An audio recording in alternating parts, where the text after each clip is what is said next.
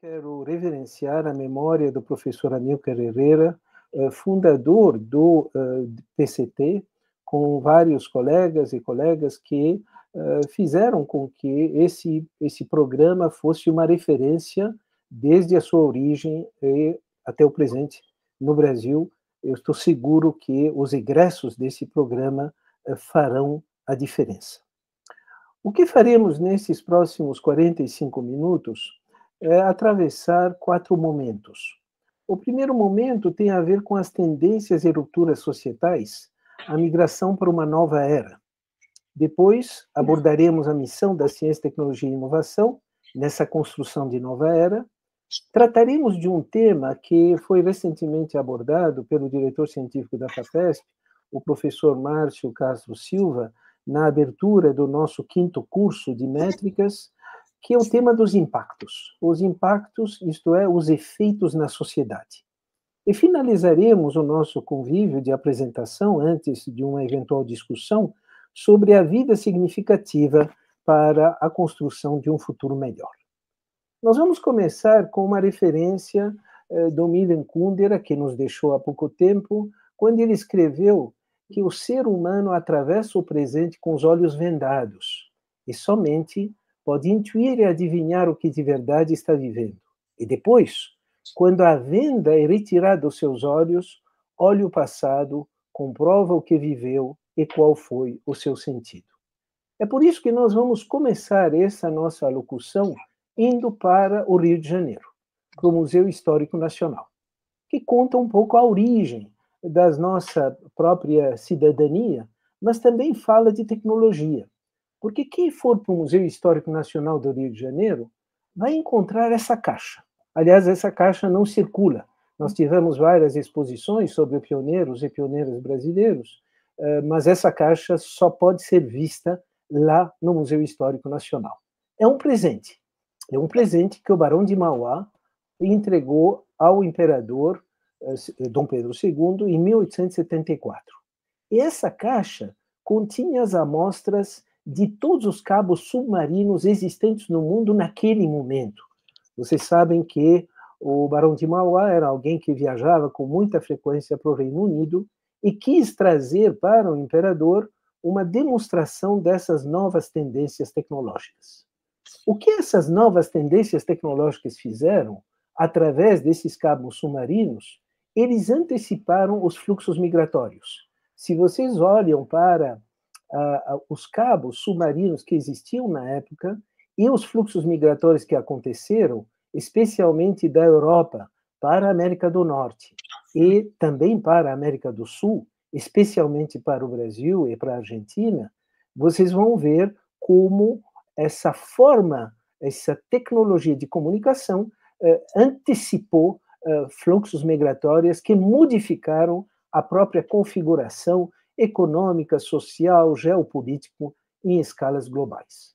Também, quem for visitar o Museu Lazar Segal vai encontrar lá o chamado navio dos imigrantes. O Lazar Segal também é alguém que viajava, viajava muito, e com isso ele tinha essa capacidade de uh, olhar para os fluxos migratórios ele desenhou esse mapa, esse, esse quadro que se encontra lá em, no Museu Lazar Secal, e quem for ver essa, essa, essa exposição vai ver a melancolia, a apreensão dos imigrantes.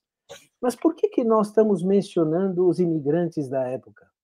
Porque nesse, no quadro que nós estamos descrevendo, eh, final do século XVIII, século XIX, início do século XX, nós vamos encontrar uma profunda evolução da ciência e tecnologia da inovação.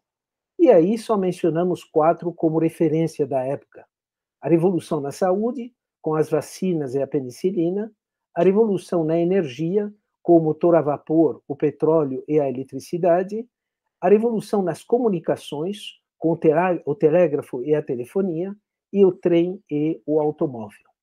É nessa configuração que vieram para o Brasil fluxos migratórios tanto da Ásia como da Europa, e também da Europa do Leste. Aí recomendo essa visita ao Museu da Imigração, onde nós vamos encontrar essa maleta. Essa é a maleta de imigrantes, no caso, uma maleta de uma, de uma imigrante japonesa que veio para o Brasil. Por que, que nós estamos mostrando essa maleta? É para sublinhar o quanto de pouco podemos levar quando nós migramos para uma nova etapa da nossa vida. No caso, aqueles imigrantes japoneses que vieram para o Brasil. E essa maleta é o pouco que podemos levar. O que tinha nessa maleta dos imigrantes? Tinha o mínimo necessário. Tinha, obviamente, conhecimento, alguns instrumentos para começar uma vida profissional, mas também tinha os valores que traziam, os relacionamentos que tinham, e tinha um pequeno espaço nessa maleta para o conhecimento aprendido ao longo da viagem. Eu me refiro a essa maleta porque daqui a pouco nós vamos mencionar que somos imigrantes para uma nova era. E quando nós migramos para uma nova era, porque somos todos imigrantes para essa nova era, temos que lembrar que levaremos muito pouco para o futuro. É preciso escolher bem o conhecimento, as habilidades, as atitudes, os valores, os bens, os bens materiais, e sempre estarmos abertos para a aprendizagem ao longo da viagem. Isso terminou no início do século XX? Claramente que não. Se nós olhamos essas fotografias dos imigrantes venezuelanos que chegam na fronteira ou da Colômbia ou do Brasil, nós vamos encontrar exatamente essa limitação. Levamos muito pouco quando nós migramos para um novo país ou para uma nova era. E, portanto, temos que escolher muito bem o pouco que vamos levar, mas o mais importante para a viagem e para começar continuamente a construção desse futuro. E aí nós chegamos então aos nossos quatro módulos, que é a migração para a nova era, a missão da ciência, tecnologia e inovação, a avaliação responsável na economia, na academia e a vida significativa para a construção de um futuro melhor. A construção da nova era nos contextos ou no contexto dos anos 20. Por que, que nós colocamos contexto dos anos 20? Porque se nós olharmos o período de 1900 até 1930, algo muito semelhante aconteceu 100 anos atrás. Aqui nós estamos falando desse nosso século, o século 21. Crise sanitária, que reduziu o IDH, crise econômica, que aumentou o desemprego, especialmente para aquela maioria de pessoas menos conectada com as novas tecnologias. Há uma carência de profissionais que dominam as novas tecnologias, mas há um desemprego daqueles que não migraram para essa nova tecnologia. A crise social, que aumentou a desigualdade, veja a distância que existe entre o que é chamada economia do luxo e os excluídos a crise política que aumentou a polarização em escala global, dentro dos países, dentro dos municípios e dentro dos núcleos familiares. Portanto, nós temos aqui algo também que é muito semelhante ao que aconteceu durante as primeiras décadas do século passado. E, finalmente, uma crise geopolítica que aumentou a imprevisibilidade. Eu não me refiro somente as questões de conflitos eh, não, não, não militares, mas eu me refiro essencialmente ao que aconteceu dois anos atrás com a invasão da Rússia na Ucrânia, com os conflitos do Oriente Médio, mas também o que está acontecendo no Haiti, o que pode acontecer na América Latina, com a Venezuela querendo reivindicar uma parte do território da Guiana. Nós temos, portanto, um quadro geopolítico em transformação e aí, nos grandes países, que sejam Estados Unidos ou mesmo na Europa, nós vamos ver também essa imprevisibilidade. Quais são as respostas para a nova era? É claro que nós temos que, como instituições, como país, eh, nos dedicarmos à transição digital. Há uma postura estratégica. A postura estratégica significa olhar mais para fora do que para dentro, olhar para o entorno, olhar para o contexto definir prioridades, definir ações, escolher métricas. Essa postura estratégica vai nos levar, como veremos daqui a pouco, a recomendar sair das telas é ir ao encontro da realidade. A sustentabilidade ambiental, para nós brasileiros e brasileiras, claramente é uma responsabilidade enorme em função do nosso patrimônio, que especialmente é a região amazônica. E, finalmente, como conciliar cooperação e competição. Alguns acreditam e têm defendido que nós estamos vivendo uma mera aceleração de tendência. Não é a nossa opinião. A nossa opinião é que estamos caminhando para uma nova era a ser construída. Ela já aconteceu no passado, quando a civilização migrou do escrito para o impresso e do impresso para o digital. E se queremos subir ainda mais na história da humanidade, quando migramos da palavra falada na palavra escrita, com os hieróglifos, por exemplo, e com aramaico, que foram formas de comunicar um conhecimento para gerações ainda não nascidas. Hoje, nós estamos migrando para esse digital e nós estamos, de alguma forma, encurtando a perenidade desse conhecimento na medida em que o digital é mais fluido do que o impresso. Nós voltaremos a esse tema daqui a pouco, quando falaremos das novas bibliotecas. O que significa hoje uma biblioteca na construção da nova era. Mas, por enquanto, convém ver que esse alto grau de imprevisibilidade induziu instituições nacionais e internacionais, públicas e privadas, e não governamentais, a buscarem estruturas mais flexíveis e ágeis para responder aos efeitos gerados pelas crises.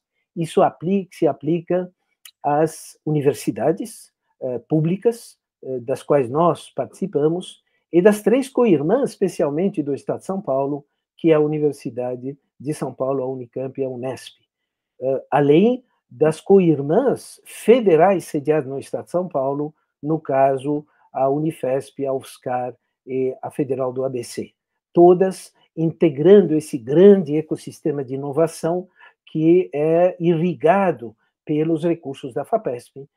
É por isso que nós criamos, junto com as empresas, junto com o sistema Senai, Senac, um, o Centro Paula Souza, esse quadro, além dos laboratórios de pesquisa e desenvolvimento de empresas, esse quadro de um ecossistema de inovação que se diferencia, como vocês devem ter lido naquele relatório do Global Innovation Index, onde São Paulo se destaca eh, entre os grandes polos globais de inovação tecnológica.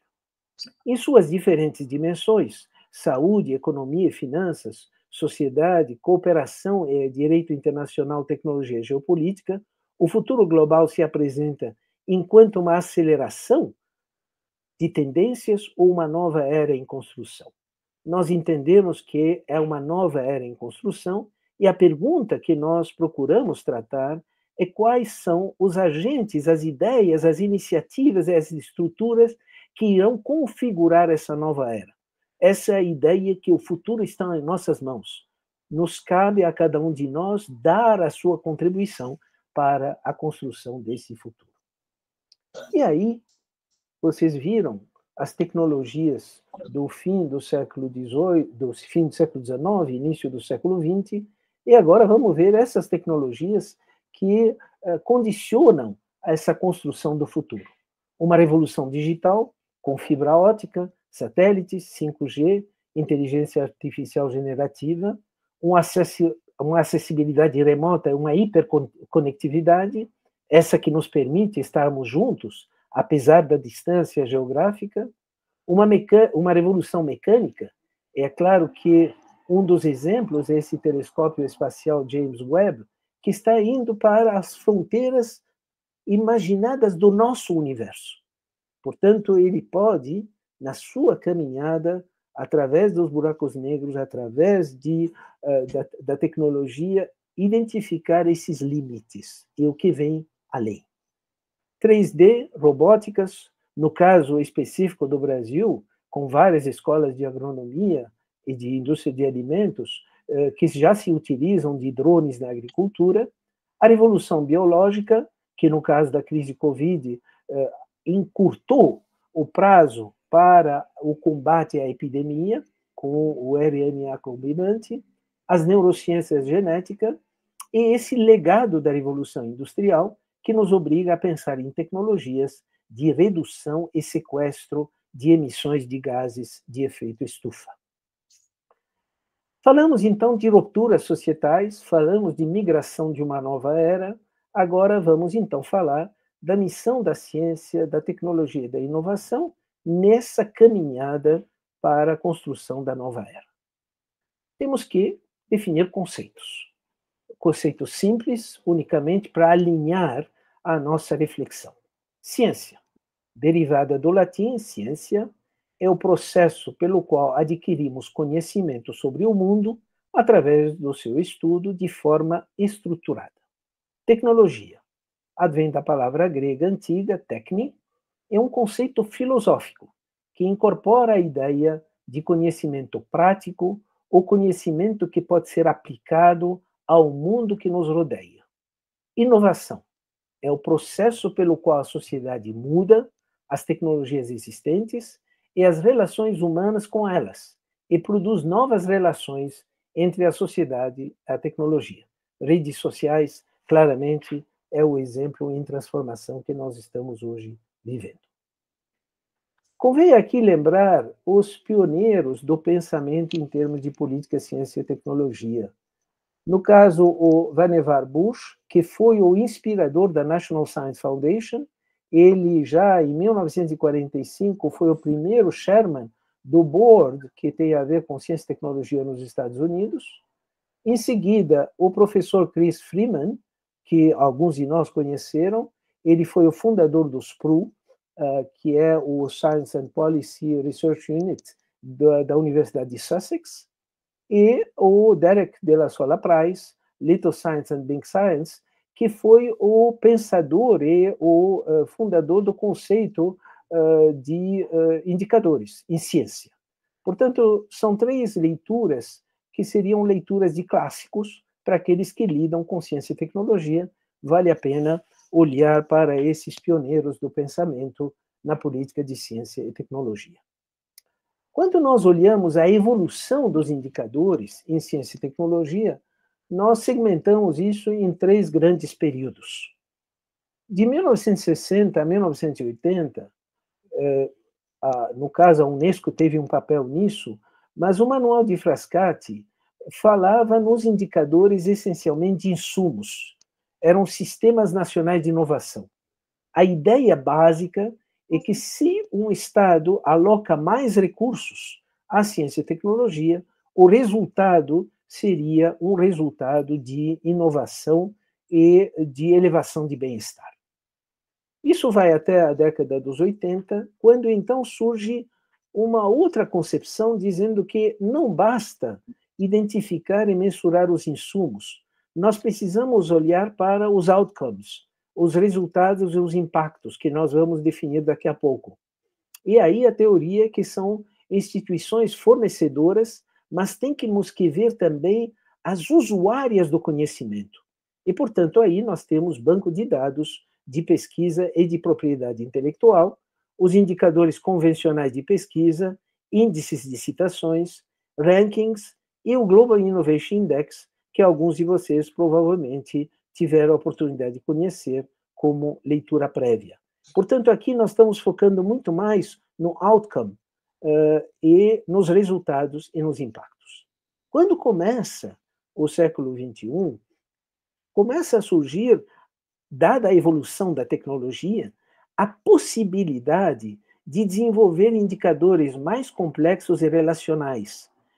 Aí nós temos uma visão de, da inovação como ecossistema complexo, com bancos de dados complexos, interligados, interoperáveis, com uma arquitetura de citação aberta.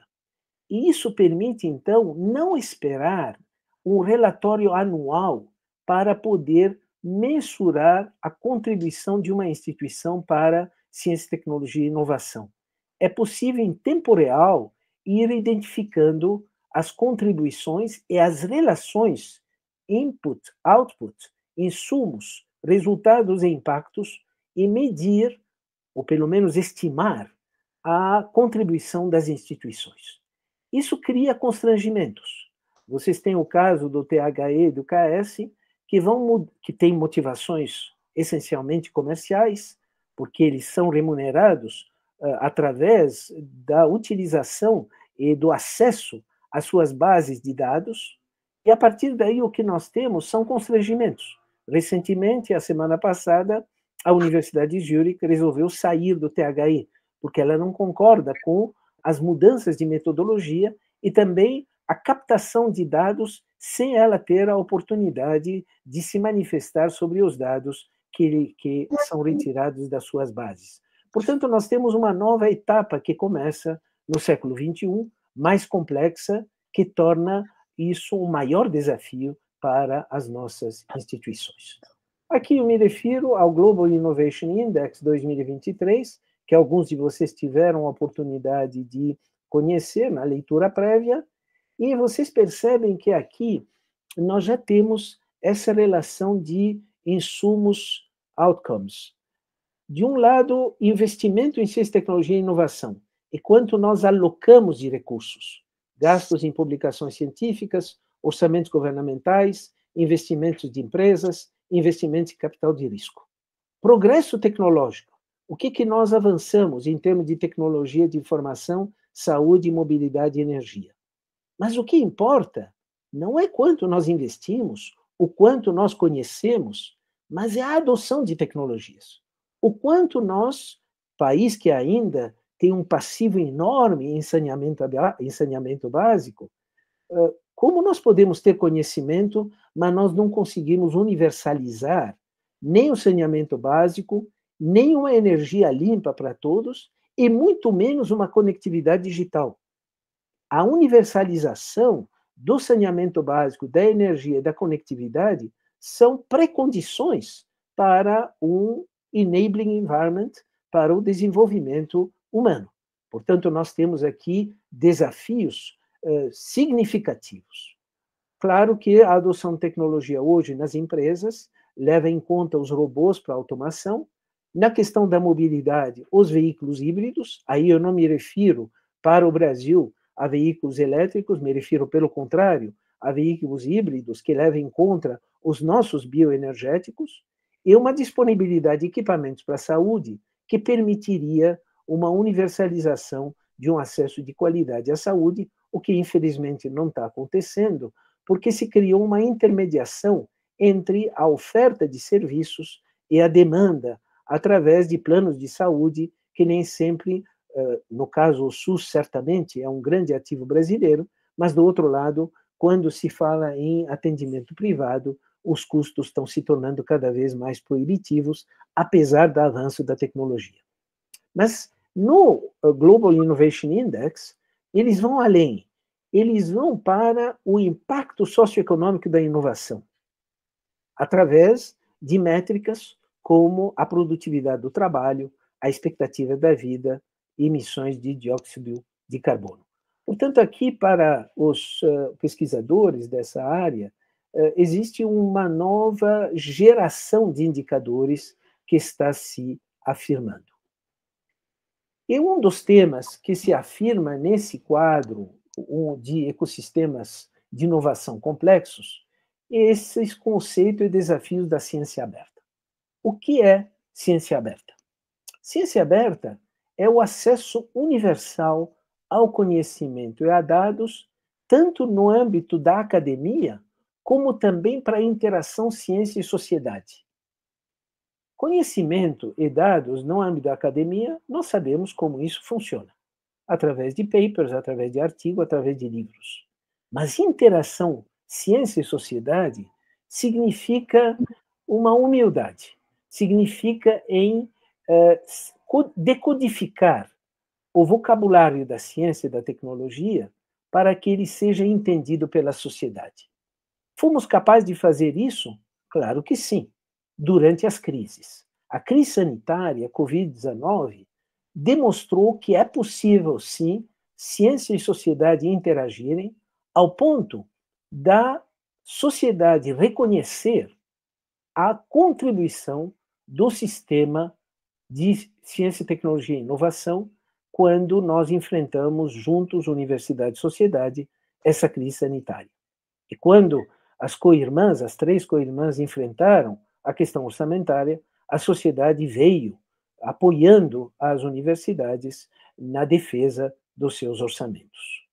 Mas quais são os desafios da ciência aberta? São os riscos de exclusão. Riscos que decorrem, primeiro, dos elevados custos de publicação, os chamados APC, do custo da manutenção de repositórios, que custa caro, e da infraestrutura de comunicação em múltiplas linguagens, tanto linguagens digitais como em múltiplos idiomas. Portanto, nós temos aqui um desafio que depende não somente das instituições de ensino e pesquisa, eh, mas também das agências de fomento. E a resposta a isso são as ferramentas de mensuração da troca de informações no âmbito da academia e na interface ciência e sociedade, com o monitoramento das agências de fomento para verificar como canalizar os investimentos para promover a ciência aberta tanto no âmbito da academia como no âmbito da ciência e sociedade. Aqui eu abro um parêntese sobre o repensar, não da universidade, mas o repensar de uma biblioteca. O que, que é a nova biblioteca? A nova biblioteca e seus acessos digitais deve cumprir a tarefa de, primeiro, a curadoria do conhecimento herdado, a curatoria do conhecimento acumulado. Nós estamos nos arriscando na medida em que nós, comunidade acadêmica, nos conectamos o que está na rede, através do que é acesso digitalmente, perder a riqueza do conhecimento acumulado que ainda se encontra impresso em papel. Então, como essas bibliotecas, e aí nós estamos vivendo a experiência, por exemplo, da biblioteca Gita José Mindli na Universidade de São Paulo. Como é possível, ao mesmo tempo, assegurar a curadoria desse conhecimento acumulado, digitalizá-lo na medida das, dos recursos disponíveis e ajudar a organização e orientação dos pesquisadores e usuários relativos aos processos preconizados pela ciência aberta. As bibliotecas são espaços de encontros presenciais, com infinitas possibilidades de apoio, ajuda, estímulo à comunidade. Veja que eu falo uma comunidade que transcende a academia, para estudar, pesquisar, construir conhecimentos, identidades e projeto de vida significativa. Esse parente foi aberto porque nós tendemos a tratar das bibliotecas como algo marginal dentro das nossas instituições. Pelo contrário, elas devem recuperar o seu papel central, tanto na dimensão do impresso, como, do impre... como na dimensão do digital e do convívio presencial nesse ambiente eh, de cultura.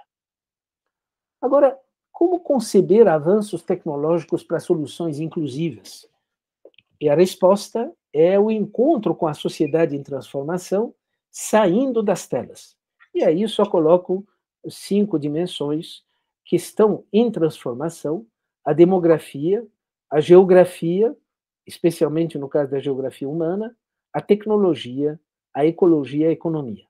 E é muito apropriado sublinhar a importância de um programa de ciência e tecnologia no Instituto de Geociências, porque os alunos de PCT têm a, a, a, acessibilidade a um conhecimento de ciclo longo, que é o conhecimento da geologia, o conhecimento da geografia é um conhecimento de ciclo de milhões de anos.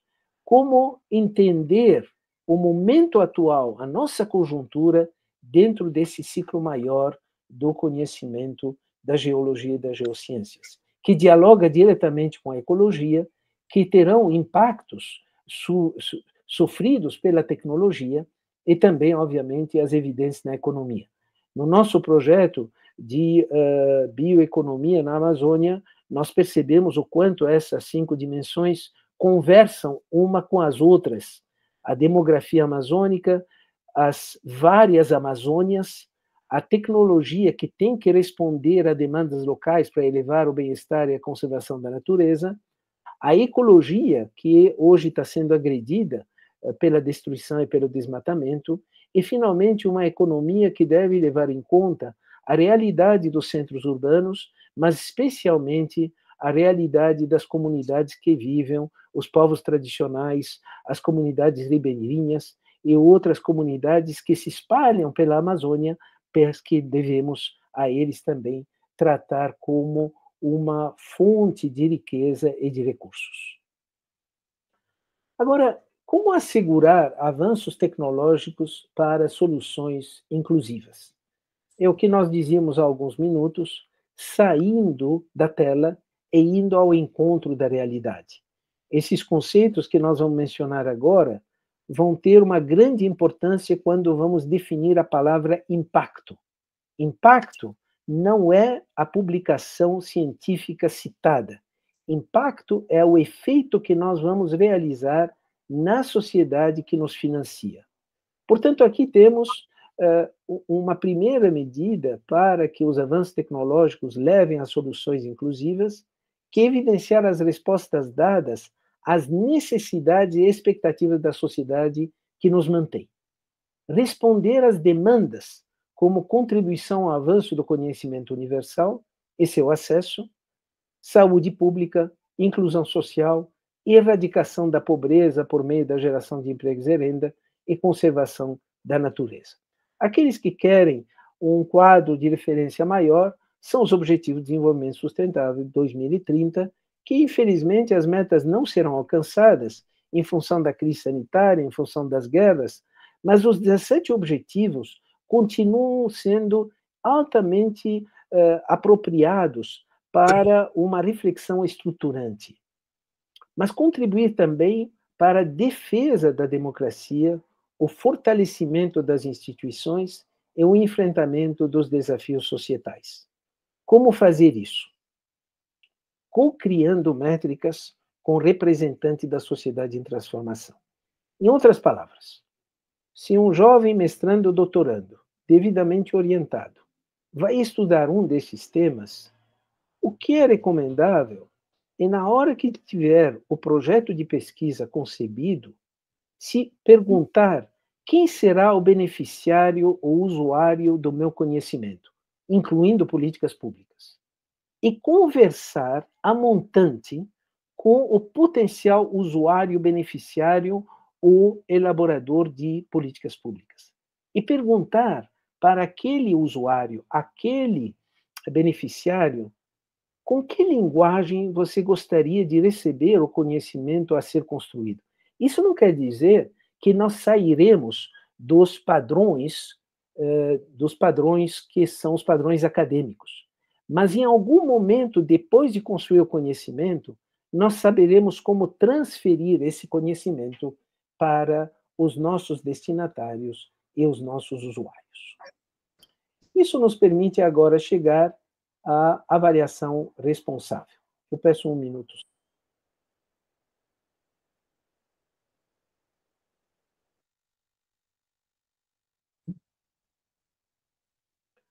Avaliação responsável na academia.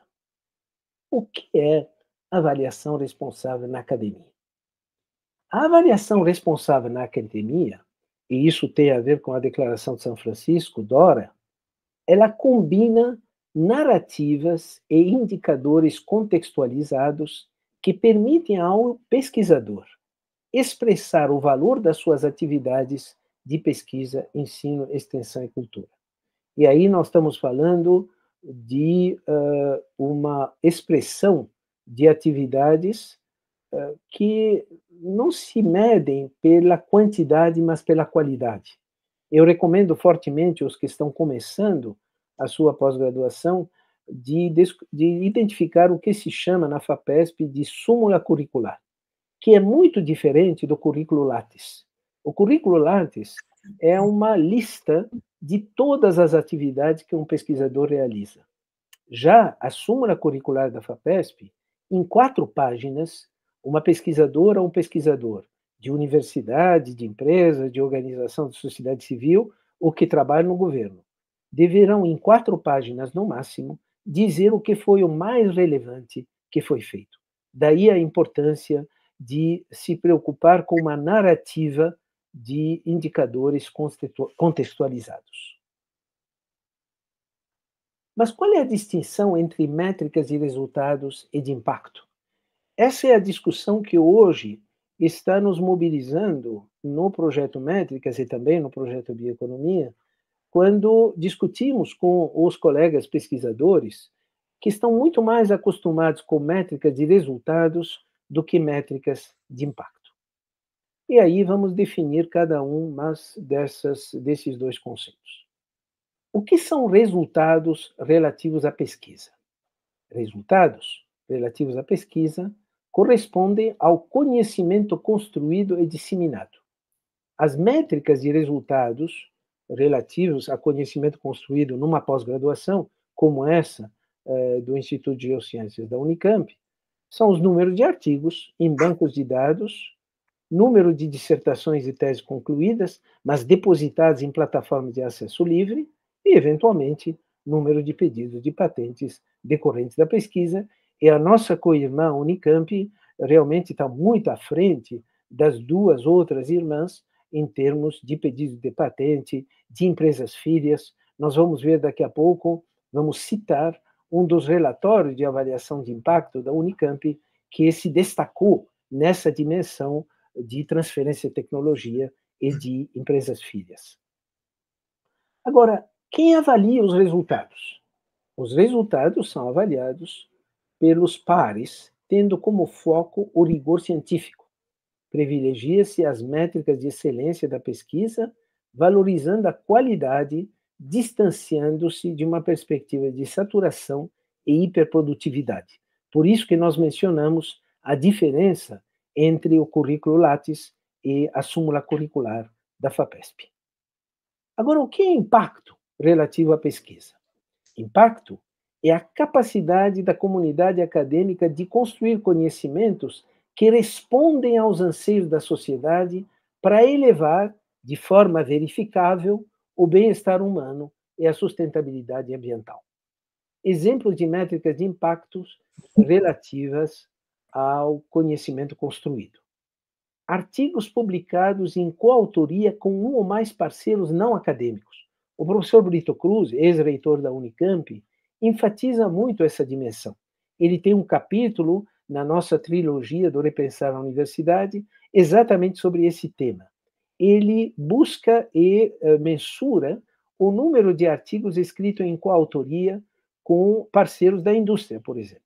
E quando um acadêmico e pessoa, um pesquisador de um laboratório de pesquisa e desenvolvimento trabalham juntos num artigo, há uma transferência natural do conhecimento nas duas direções, da empresa para a academia e da academia para a empresa.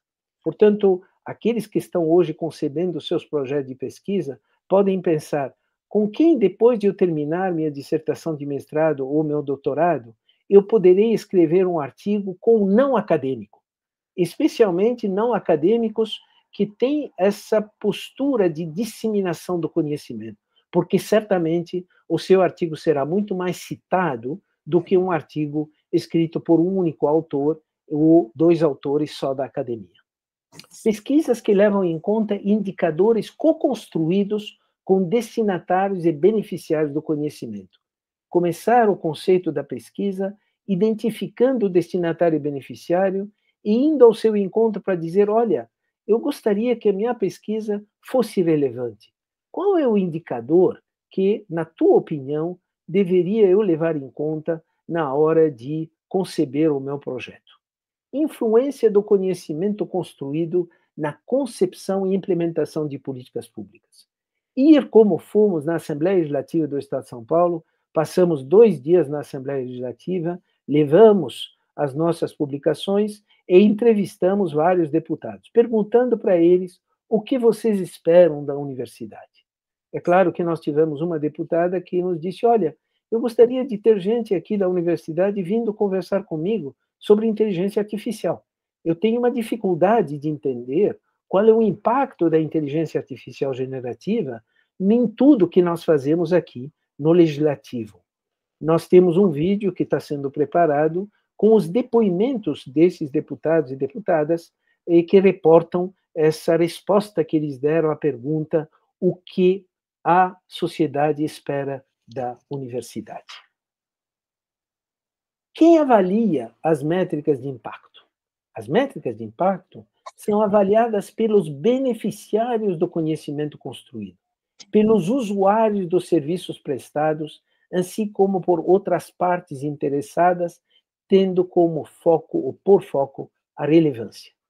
Se nós formos num dos hospitais das clínicas, da Unicamp, da USP, ou uh, de Ribeirão Preto, ou da Unesp, e perguntar qual vai ser a forma de medir as atividades de um hospital? Não é o caso de pedir essa avaliação aos médicos pares.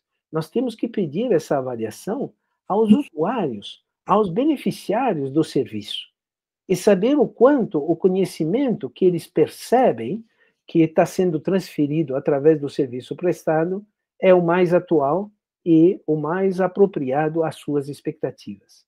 É por isso que a métrica de impacto valoriza as métricas co-construídas com os destinatários do conhecimento e seus usuários. Eu quero trazer aqui, já estamos na, na, na, na terceira parte, última parte da nossa, do nosso convívio, as contribuições da Unicamp para o projeto Métricas.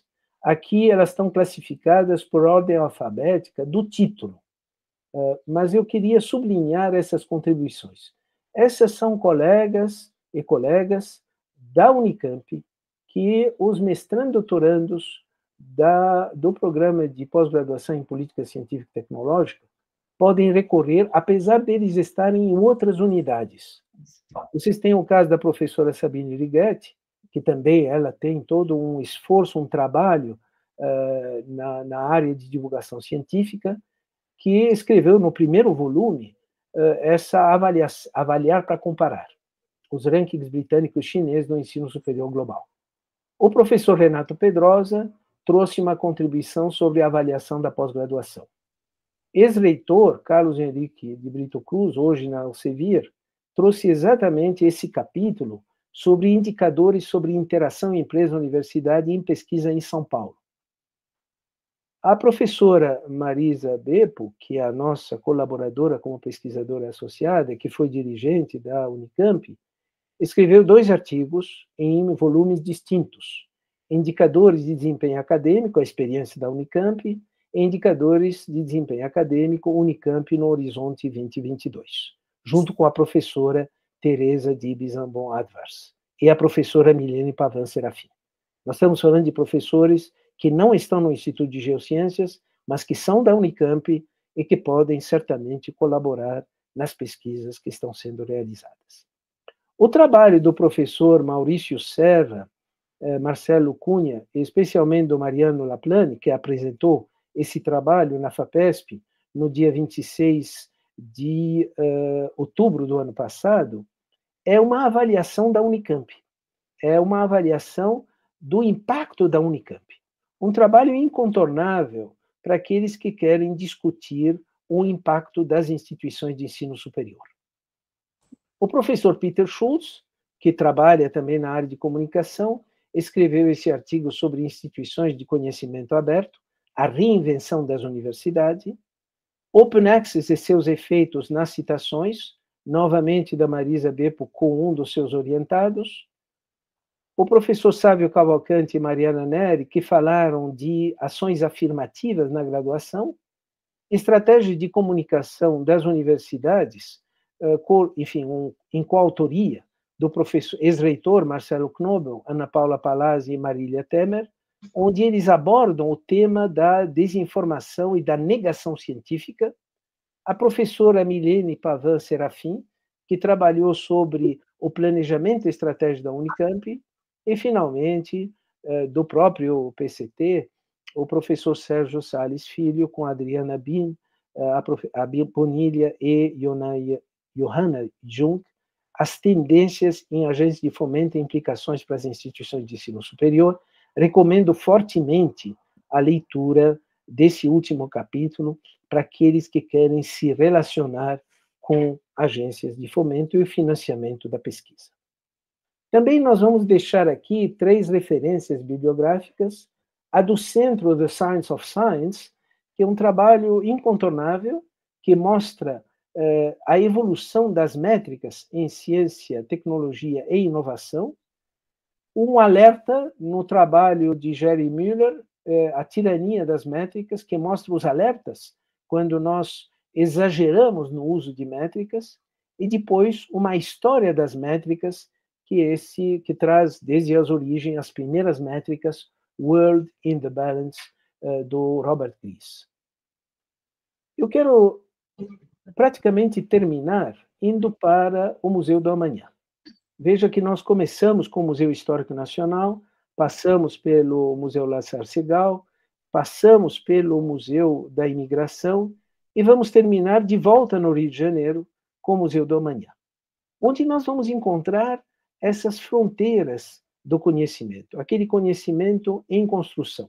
Aqueles que visitaram o Museu do Amanhã, que é incontornável, como os demais museus, vão ver que nós estamos tratando aí desde a origem do universo mas também os problemas ambientais que nós estamos atravessando com a revolução das fibras óticas, a revolução eh, do, da comunicação por satélite e o que nós vamos encontrar no Museu de Amanhã nessa construção de nova era. Eu quero terminar com o último segmento, vida significativa para a construção de um futuro melhor. E uh, devemos começar, especialmente para aqueles que estão chegando na universidade, lembrar o paradoxo do conhecimento. O paradoxo do conhecimento diz o seguinte: mais sabemos, mais tomamos consciência do quanto nós não sabemos. E se nós olharmos para esse círculo, onde vamos encontrar alguns fundamentalistas que vão se limitar a um livro, uma crença, um inimigo, nós vamos encontrar pessoas que cuja fronteira com o desconhecido é mais limitada. Mas na medida em que nós ampliamos o nosso conhecimento, cada vez mais nossa fronteira com o desconhecido aumenta. Então, é por isso que nós vamos ter que lidar com valores, porque mais, mais consciência do desconhecido temos, mais precisamos ter valores que pautam a nossa travessia e a nossa construção da nova era. Como construir uma vida significativa? Escolhemos alguns pontos baseado no estudo que fizemos de pessoas que tiveram uma vida significativa, que sejam pioneiros no meio científico, no meio acadêmico, no meio das organizações da sociedade civil e mesmo no governo. Como construir uma vida significativa? Primeiro, fazer da adversidade um patrimônio para uma vida significativa. Isto é, construir o seu futuro, mas abraçar o seu destino. O fato das coisas não acontecerem da forma que planejou, é preciso entender que aquilo lá é uma mensagem de aprendizagem e, portanto, um patrimônio para uma vida significativa. Segundo, o que é sabedoria? Sabedoria não é saber muito. Sabedoria é valorizar o conhecimento dos outros para alcançar a sabedoria. O sábio é mais capaz de ouvir do que de falar. Uma sensibilidade para a trans e multidisciplinaridade. Isso não quer dizer que uh, não há espaço para especialização. Pelo contrário, eu acho que a letra pi grega deve ser lembrada. Nós precisamos ter uma, duas pernas de especialização mas depois, conforme a letra pi, nós precisamos ter uma visão de conjunto e, a partir daí, também ter a capacidade de compreender e participar de grupos multidisciplinares e transdisciplinares. Uma habilidade de antecipar risco. Como a gente aprende a antecipar riscos vivendo intensamente a realidade fora das telas. E aí, a partir daí, se tornar hoje em dia, no mundo onde a imprevisibilidade aumenta, se tornar um arquiteto de novos horizontes inspirado em valores. Nós vamos falar de valores dentro de alguns minutos. Nesse mundo polarizado, nós não precisamos cada vez mais argumentar aquelas comunidades que estão nos, nos extremos. Pelo contrário, a sociedade está em busca de talentos, de competências para construir consensos, construir pontes, definir prioridades É por isso que é preciso dialogar com todos. Nunca se colocar num extremo sem a possibilidade de poder dialogar com os outros, os outros com quem nós convivemos ou vamos conviver. Fazer da riqueza um meio para viabilizar o sonho, para evitar o contrário. O sonho não é acumular riqueza, como alguns já disseram. A riqueza é o meio para viabilizar um sonho. Portanto, para se tornar uma pessoa rica, é preciso ter um sonho. E o sonho de fazer a diferença. E a partir daí se perguntar: qual é a riqueza que eu preciso para viabilizar um sonho? Dependendo do sonho, precisamos de mais recursos, dependendo do sonho, podemos precisar de menos recursos. Mas rico é aquele que tem os recursos suficientes para viabilizar o seu sonho.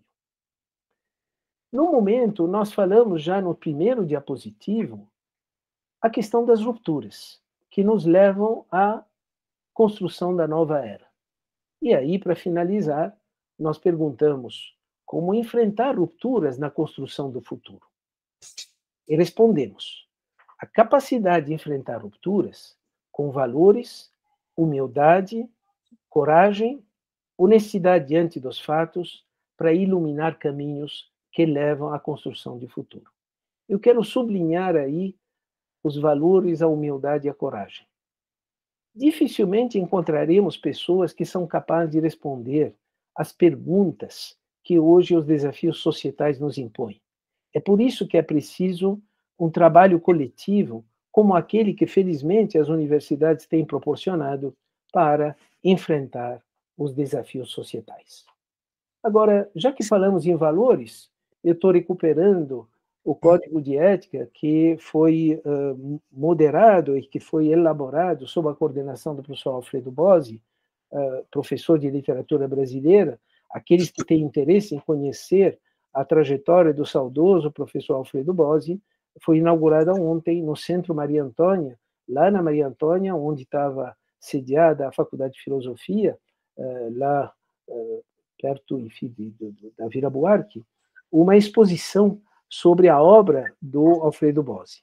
E nesse código de ética, aprovado há mais de 20 anos na USP, ele escreveu que valores inerentes à ética universitária incluem o direito à pesquisa, o pluralismo, a tolerância e a autonomia em relação aos poderes políticos. Não é por acaso que a autonomia universitária que, no caso do Estado de São Paulo, das três co-irmãs estaduais paulistas, felizmente, está vinculado a uma cota par do ICMS, evita exatamente essa subordinação das nossas três universidades a quem está eh, transitoriamente no poder, no governo.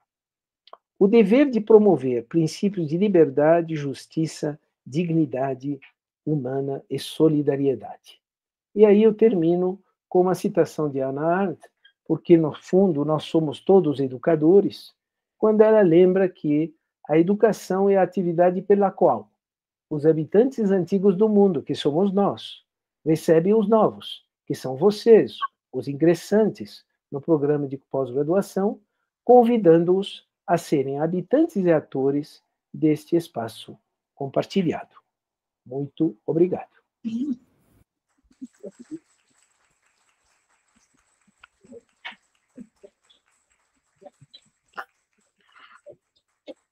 Professor Jaques, muito obrigada aqui pela sua apresentação, foi esplêndida aqui, acho que é, faz um diálogo muito interessante com temas que a gente dialoga com os alunos nas nossas várias disciplinas, e o senhor conseguiu aqui deixar é, espaços muito relevantes para as reflexões né, que faremos daqui para frente.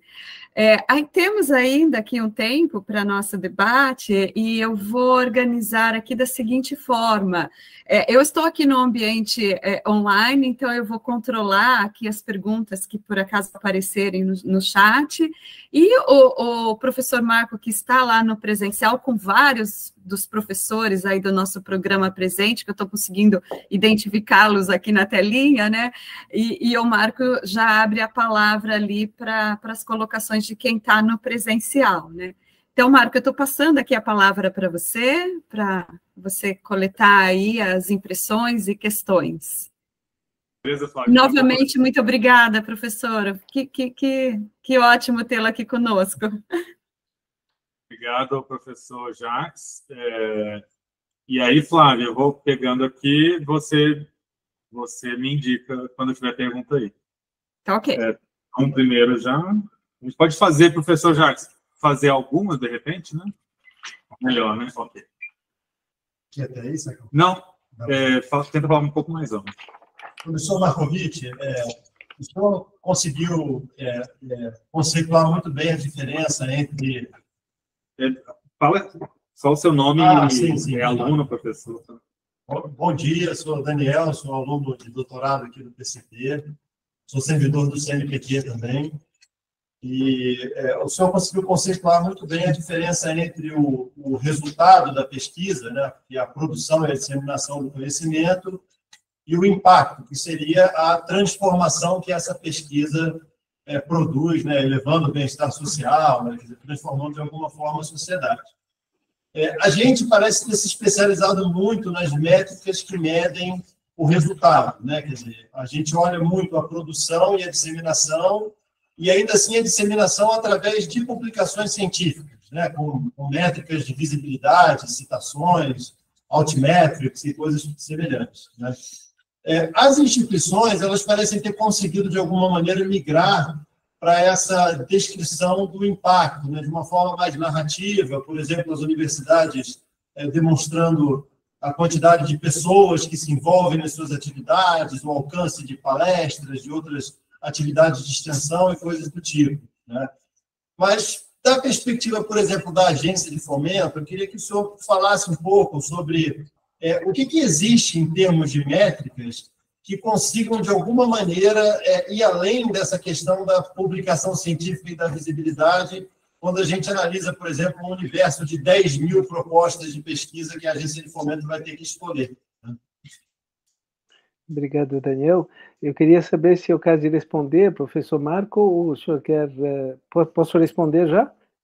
Então, eu pensei se tivesse mais alguma. Fica, fica à vontade, eu anoto. Eu posso, eu posso entrar logo depois dele, porque tem a ver com a pergunta? Antes sim, sim. Não, a minha, eu ia fazer uma pergunta. Se pudesse ah, então, identificar. Então, professor Rui e depois o professor André. É, Bom dia, Jacques. É um prazer revê-lo e parabéns aí pela apresentação muito inspiradora. É, a, me parece que assim, um pouco da minha experiência, né, não sou um especialista, mas é, onde estive envolvido com medidas de impacto da pesquisa, um dos problemas complicados é metodológico, é você separar é, o, o efeito específico da atividade de, de pesquisa, de P&D, uh, ou mesmo até dos resultados dessa pesquisa P&D, uh, num ambiente mais ou menos controlado, maior ou menor. Claro que quanto uh, menos recortado for o ambiente, mais difícil, né? É, do efeito de outros fatores que influenciam esses impactos, né? Quando a gente fala, por exemplo, de impacto pensando no caso aí da relação universidade-empresa, é, ou mesmo pensando no impacto da pesquisa do ponto de vista de criação de emprego, você tem, na verdade, vários fatores né, relacionados a, a outras variáveis, né, é, que é difícil você controlar do ponto de vista metodológico. Né? Acho que isso é uma das coisas que liga um pouco a, a... E aí eu gostaria de saber se a gente tem avanços metodológicos aí que vale a pena é, identificar e, e, e mencionar.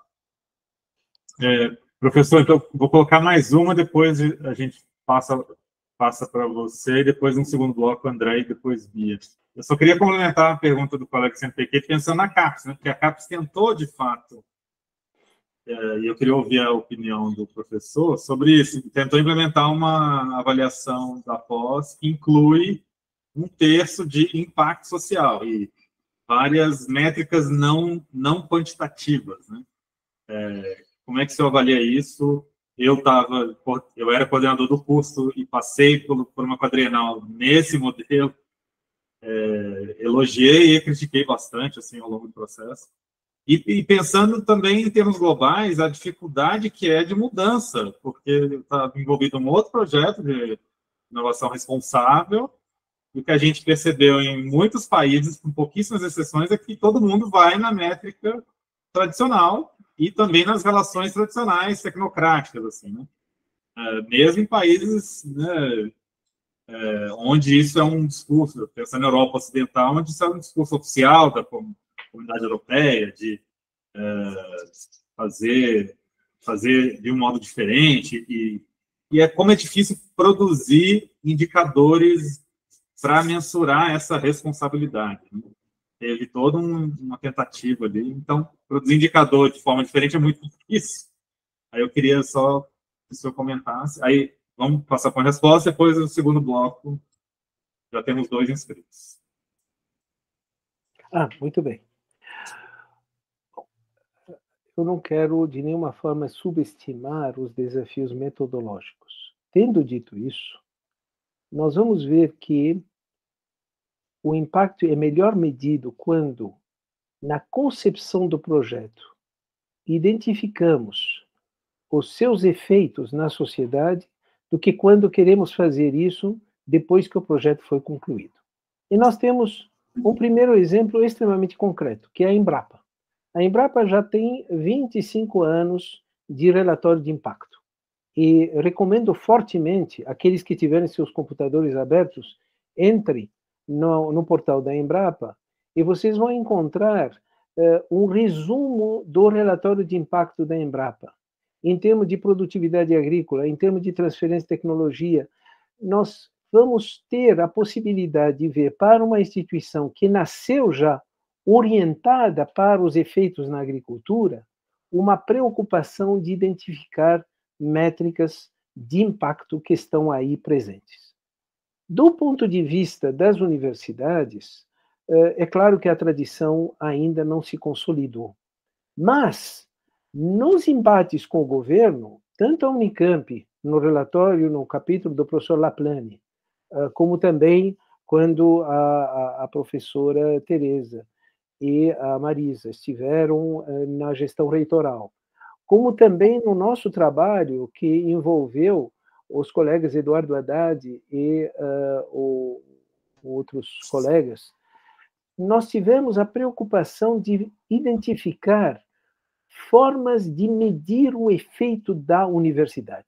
Eu não sublinho a, a, a, o desafio metodológico que o professor Rui mencionou, mas se nós olhamos instituições que dependem de resultados e impactos para conseguir recursos, que é o caso das universidades inglesas, nós vamos ver que no Reino Unido as formas de medir impacto se tornaram cada vez mais sofisticadas. O caso do REF, por exemplo, há vários portais de, uh, de, de, de, espaços de monitoramento de impacto de universidades inglesas, e não é por acaso, se vocês forem no relatório de impacto do Imperial College, vocês vão encontrar lá as métricas mais sofisticadas, porque eles dependem da revelação do impacto para a obtenção de recursos. Não basta só o volume de publicações não tem sido a nossa tradição no Brasil. A nossa tradição no Brasil, porque a nossa pós-graduação nasceu para formar pesquisadores, para formar professores, só que isso está mudando. A nossa pós-graduação, no depoimento do professor Márcio Castro Silva, da FAPESP, diretor científico, que ele fez dias atrás, a FAPESP quer financiar hoje pesquisadores nas organizações da sociedade civil. Ele quer financiar pesquisadores em laboratórios de pesquisa, de pesquisa e desenvolvimento de indústria, de governo, de organizações da sociedade civil. E a partir daí, não bastará dizer qual é o volume de publicações ou a qualidade das minhas publicações. O, o pesquisador que quiser uma bolsa de pesquisa para trabalhar fora da academia terá que revelar esses impactos, esses efeitos na sociedade do seu projeto. E voltando para o CNPq, para a CAPES, eu acredito que nessas duas instituições essa reflexão está ocorrendo. Quando o Daniel pergunta, recebo 10 mil projetos de pesquisa, qual aquele que eu vou financiar? Uma pergunta absolutamente legítima. Penso que no formato da apresentação dos projetos, a identificação, eu não me refiro à ciência básica, não me refiro àquela que tem o conhecimento como fim, que deve ter sempre, espaço. A física teórica terá sempre seu espaço. Mas quando nós entramos em agricultura, saúde, medicina, eh, eh, mesmo gestão, economia e outros, a pergunta será, no projeto de pesquisa, qual é o teu beneficiário, usuário do conhecimento novo que você vai gerar? Dois, como você pretende medir o efeito do conhecimento gerado junto ao teu beneficiário ou ao teu usuário? É claro que isso não deve ser uma camisa de força, mas mais nós induzimos no pesquisador aplicado a preocupação de dialogar com o usuário final e o beneficiário, e não somente com seus pares da academia, nós vamos mudar uma cultura que permite o desenvolvimento dessas métricas. Concluo, não subestimando a, a, os desafios metodológicos, mas eles não inibem a possibilidade de avançar nas métricas de impacto. Obrigado, professor. Então, passo para o André Furtado e depois a Bia. Bom dia, professor Matovitch. Prazer ouvi-lo. Fiquei muito impressionado com sua apresentação. E, e um tema que você desenvolveu, que é indicadores de ciência, tecnologia e inovação, que é um tema que também é caro, e acredito que a sua reflexão nos ajuda a refletir, enfim, sobre as implicações desses, dessas métricas. Né? É, por isso mesmo, eu entendo que um, um dos aspectos que já foi levantado é justamente que quando se trata de métricas em ciência, tecnologia e inovação, sempre a gente tem uma visão incompleta, imperfeita né, da, da realidade. A gente nunca vai chegar, é, o quantitativo nunca vai conseguir capturar. É, mesmo pegando aqui esse Global Index é, da, da WIPO, né, é, a gente percebe que existem muitos indicadores aí que são qualitativos, na realidade, traduzidos em números. É, um, um, aspecto também importante desse tipo de, de por exemplo, indicador composto, é que ele junta tudo numa coisa só, que pode ser um tremendo reducionismo, que, que infelizmente vai pautar decisões, por exemplo, como o senhor falou, de apoio, financiamento, etc., juntando métricas que são muito heterogêneas. Né? Então, existe um problema aí grande quando se usa esse tipo de métrica e as suas limitações. Mas a, a minha pergunta é, é sobre é, justamente o Brasil, né? porque é, sobre os indicadores de ciência e tecnologia. Eu entendo que nós temos é, indicadores ainda muito imperfeitos, certo? os mais básicos. Então, por exemplo, se a gente for pegar o nosso indicador de PIB, eu acho que ele ainda está, ele merece atenção, certo? a gente ainda não faz a separação entre é, financiamento e execução, certo? É, em termos de é, investimento em P&D. É, outro indicador fundamental que a gente tem, por exemplo, é recursos humanos aplicados a P&D. Nós não temos, é, aliás, isso aparece aqui no relatório, né? É, indicadores atualizados sobre pesquisadores trabalhando em ciência, em pesquisa e desenvolvimento de ciência e tecnologia no Brasil é, é impressionante. Então, a gente está aqui discutindo fazer novos indicadores, mais e mais e mais, sendo que a gente ainda nem fez um TV do básico, né, que tem lá os manual, Frascati é, consolidado. Então, a minha pergunta é se a gente não deveria priorizar esse básico antes de partir para experiências mais ousadas. Professor André, eu vou primeiro responder a sua pergunta da, da, também, a importância dela como as demais. Eu acho que nós teremos que fazer as duas coisas ao mesmo tempo. É, nós não vamos poder evoluir unicamente com o que já está consolidado em outros países para depois, então, nós teríamos que fazer as duas coisas ao mesmo tempo. E o que significa isso? É ter um maior diálogo com os interlocutores. Há mais de 30 anos, foi criada uma associação, a Associação Nacional de Pesquisa e Desenvolvimento Industrial, que reúne mais de 100 empresas que se declaram eh, empresas executoras de pesquisa e desenvolvimento, que é a AMPEI. Na, numa proposta CIVID, que foi recentemente uh, submetida à FAPESP, esse tema que o senhor colocou foi muito bem sublinhado. Nós precisamos ter dados mais confiáveis diretamente junto aos nossos interlocutores. E na proposta que foi submetida à FAPESP, foi exatamente isso que foi colocado. Como nós vamos dialogar com associações que lidam com essas empresas que fazem pesquisa e desenvolvimento para ter dados mais confiáveis. É claro que os dados da Petrobras, que é o laboratório de pesquisa e desenvolvimento mais consolidado no Brasil, esses são acessíveis.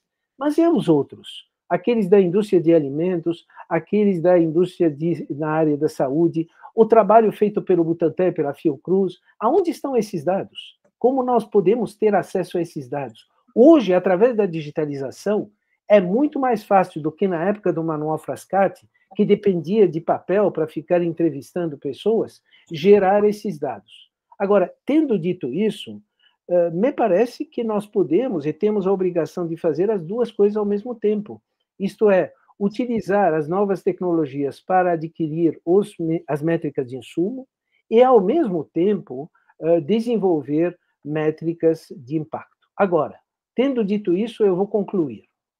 O Brasil não é simples, porque o Brasil tem uma heterogeneidade regional extrema. Entre o Centro-Sul, pega o estado de São Paulo, o estado do Amazonas, o estado do Pará, as métricas não podem ser semelhantes. Nós precisamos reconhecer uma diversidade regional que nos obriga a pensar em métricas de ciência, tecnologia e inovação que levem em conta as diferenças regionais. A região norte hoje precisa de toda a nossa atenção. Nós precisamos desenvolver métricas próprias nos poucos institutos e universidades que podem revelar essas métricas na região.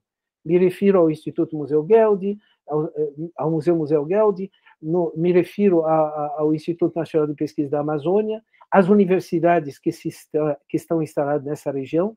Nós precisamos apoiar essa identificação de métricas regionais próprias se queremos ajudar a fazer a diferença. Mas eu quero agradecer a sua reflexão, professor André, eh, me alinhar com sua preocupação com metodologias e, ao mesmo tempo, dizer que, juntos, todos os núcleos de política de ciência e tecnologia no Brasil deveriam se juntar com o IPEA e outros institutos para evoluir nas duas dimensões ao mesmo tempo e apoiar o CNPq, a CAPES e outros órgãos de financiamento com o que está sendo feito na FAPESP, que já vai nessa direção.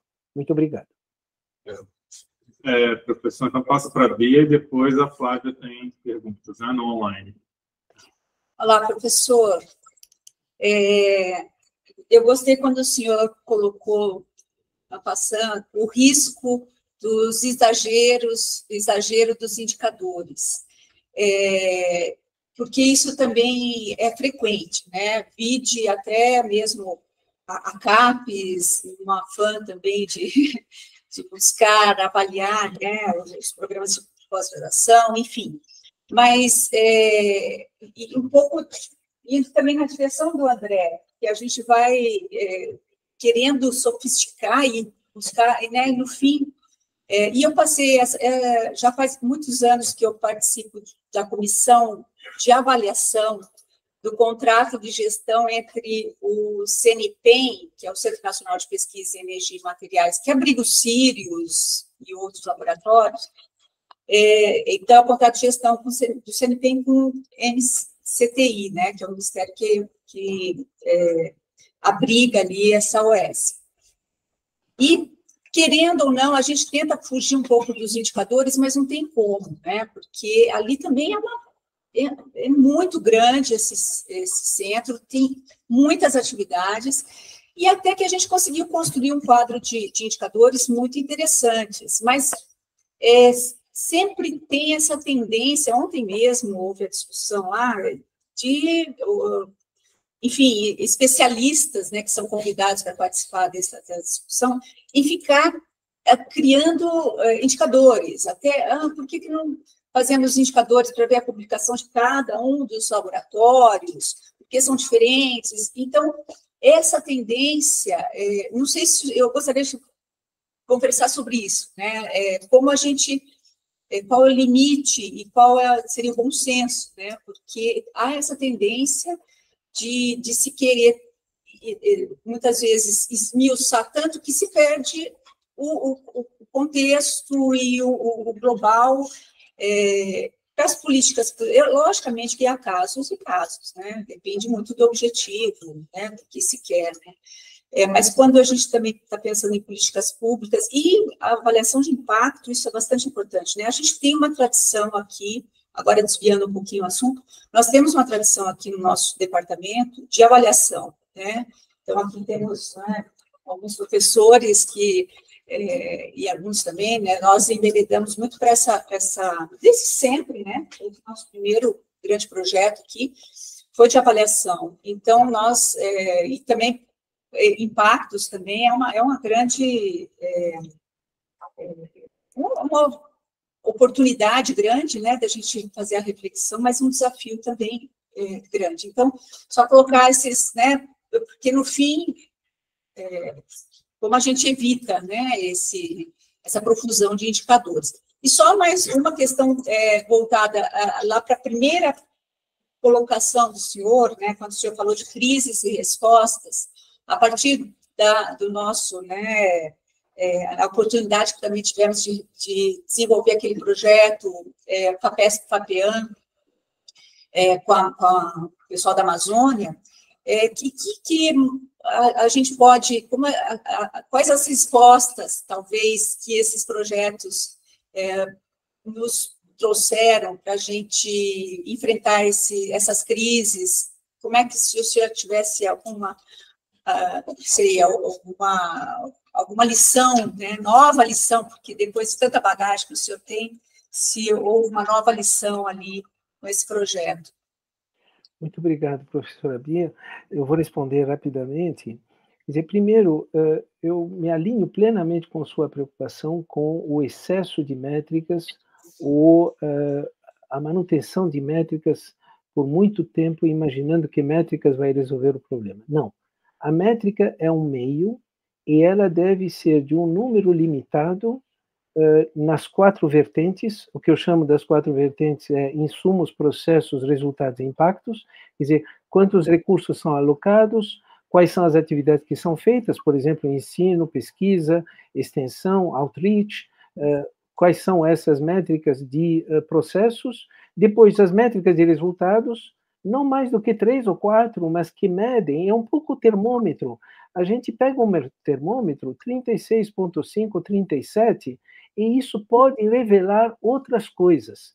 Então, não é uma questão de ter um grande número de métricas, mas ter poucas métricas nessas quatro vertentes, eh, que é insumos, processos, resultados e depois os impactos que são os efeitos.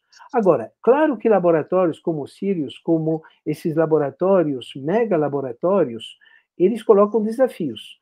Aí eu recomendo ver a experiência do CERN, que é esse laboratório franco-suíço de caráter global, e que é, procura mostrar a sua, é, o seu efeito não somente através da pesquisa que ele faz, mas também através da divulgação científica, através da é, alfabetização científica, porque ele entende que, em função dos investimentos que estão sendo feitos naquele laboratório, que geralmente é, enfim, ele tem um efeito sobre a comunidade científica eh, internacional, mas é preciso que a sociedade também reconheça a importância desse laboratório.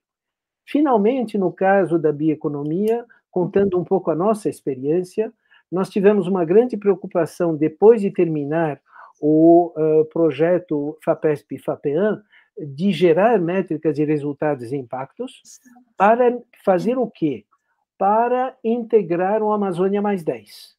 E por circunstâncias tecnológicas, o nosso projeto de Amazônia Mais 10 acabou sendo dividido em duas partes, uma para o CNPq, uma outra para a FAPESP, e nós devemos lançar no dia 19 de junho em Belém do Pará a nossa obra coletiva chamada Bioeconomia para quem? Ou Bioeconomia uh, na Amazônia, mas ele está focado nas cadeias de valor, e aí temos uma métrica que submetemos tanto ao CNPq como à FAPESP, que é o conhecimento das cadeias de valor, deve ser vulgarizado para termos uma métrica de uso do conhecimento gerado junto a pelo menos uma comunidade local. O que fizemos de diferença? Por isso que os nossos pesquisadores, além de ir para a região norte, estão dentro do orçamento do projeto identificar o que chamamos de pesquisador comunitário. Isto é, uma pessoa da comunidade que vai nos fornecer métricas de bem-estar, porque a métrica de bem-estar do IDH não se aplica a uma comunidade ribeirinha da Amazônia. O que aparece como primeira prioridade é um mínimo de segurança. Não é acesso à alimentação, acesso à saúde, é segurança. Então, se nós impusermos para essas comunidades indicadores com os quais estamos acostumados, nós estamos totalmente distantes daquela realidade. Outro indicador que eles gostariam de adotar é a volta dos filhos depois de uma atividade de educação na cidade. Porque o que eles estão percebendo é que, na medida em que esses filhos e filhas vão para a cidade, deixam de voltar para a comunidade e, portanto, as cooperativas que estão lá criadas acabam tendo uma dificuldade de se manter no médio e longo prazo. Portanto, esses são indicadores chamados centrados na comunidade. Não são os indicadores que nós levamos para medir o bem-estar ou a conservação da natureza. Eu não sei se eu respondi a pergunta para a senhora, mas Sim. é, essa é a experiência. Obrigada. Claro, acho que para encerrar, a gente faz online, né? Para não exagerar. Temos uma, temos uma questão aqui, professora Dalindy Nava, ela é aluna da Faculdade de Ciências Aplicadas aqui de Limeira, e ela volta ao tema dos ODS, né, é, com sustentabilidade, né. Como professor, vou ler aqui a, a, a pergunta dela. Como o professor mencionou, provavelmente não vamos alcançar as metas dos 17 ODS da ONU. As grandes empresas já estão se mobilizando em vistas para alterar o seu modelo de negócio para um modelo de negócio sustentável. O que fazer para as universidades se tornarem protagonistas também nesse processo de auxiliar as empresas, as organizações, com essa transição para um modelo de negócio sustentável? Eu te agradeço, agradeço a pergunta que foi formulada. Nós temos os 17 ODS e temos 169 métricas das metas. O que não vai ser alcançado são essas metas dos 169, das 169 metas. Algumas quantitativas, outras qualitativas.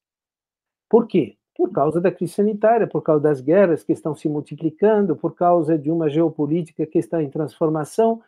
Agora, os 17 objetivos continuam tão válidos do ponto de vista da definição de uma prioridade como fazer com que as nossas universidades continuem se pautando pelos 17 objetivos, sem se preocupar necessariamente com o fato das metas não terem sido alcançadas. Até porque as metas vão ser mais ou menos alcançadas, como no caso, por exemplo, do Acordo de Paris, dependendo dos países, dependendo das regiões. Então, como a pergunta é dirigida a instituições de ensino superior, especialmente universidades públicas, eu acho que o esforço das universidades e pegar, por exemplo, seu plano de desenvolvimento institucional, é associar as prioridades do plano de desenvolvimento institucional aos 17 Objetivos de Desenvolvimento Sustentável, me parece que é um trabalho saudável, até porque traz para dentro da comunidade acadêmica uma percepção de priorização de 17 temas. Isso não deve ser uma camisa de força, ao penso de dizer nenhum pesquisador pode fazer algo fora daquilo mas aquilo é estruturante. E nesse sentido, concluindo, mesmo que as metas não sejam alcançadas, dos 169, 169 metas, eu entendo que os 17 objetivos continuam válidos e estruturantes. Eu espero ter respondido a pergunta da colega. Okay. Como também não alcançamos os objetivos do milênio, não é? é e nem é. por isso a, a gente deixou de pensar nesses temas, que, aliás, acabou sendo incorporado agora. Bem, então eu acho que estamos assim exatamente no nosso tempo de finalização do encontro. Desejo aí novamente uma boas-vindas para os nossos novos alunos, né? Eu acho que hoje conseguiram aí ter um pouquinho mais, né, daquela pincelada de questões que nos fazem refletir, né? É, e que nos inspiram também, como disse o professor Rui, né? E agradeço demais, professor Jacques, pela parceria, né? Pela disponibilidade de estar conosco nesse momento.